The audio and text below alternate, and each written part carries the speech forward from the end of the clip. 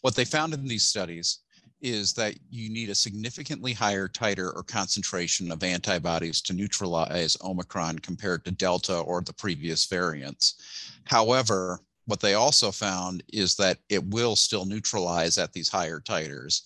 So the good news here is that there isn't a complete immune escape. This is telling us that there will still be some effect from the antibody portion in all likelihood from the vaccines. But at the same time, we expect there to see, be some decrease based on it requiring this higher concentration. What this really means for us as individuals is we're going to have to wait for the real world data from vaccinated individuals, which will start to give us insights into how the other parts of the immune system play in, but also that getting your vaccine and if you're eligible, your booster remains very important.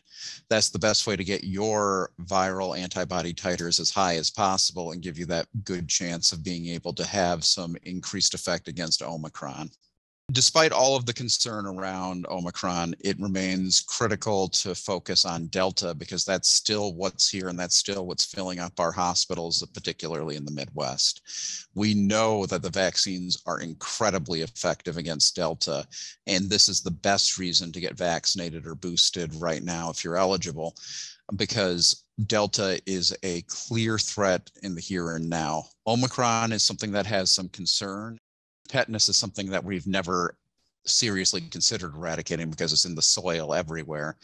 But at the same time, through effective vaccination and effective management of post exposure, it's gone from being a potentially deadly disease to something that's manageable with uh, where we are more concerned about getting to that vaccine on time and uh, what that feels like than what the effects of tetanus are for me, that would be the ideal state of COVID is one where we use the vaccines and careful management to make it into more of a nuisance uh, with careful management than a true threat like it is in this pandemic.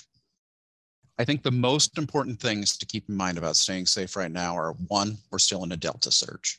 And as we look at what can we do to stay safe from Delta, it's the same things they have been, which is to say masking where appropriate, getting tested if you have symptoms or another reason, and getting vaccinated or boosted if eligible. As we look ahead, the companies that make the vaccines have looked into making uh, specific boosters for this. And we are going to have to see what kind of developments come out from the real world data on efficacy in the near future, as well as what the uh, what this looks like overall. And it will be important to remember if there is a new booster in the spring for this, that that's something that's always been considered a possibility. However, that doesn't mean you shouldn't get a booster now. The boosters now still improve your risk profile better than anything.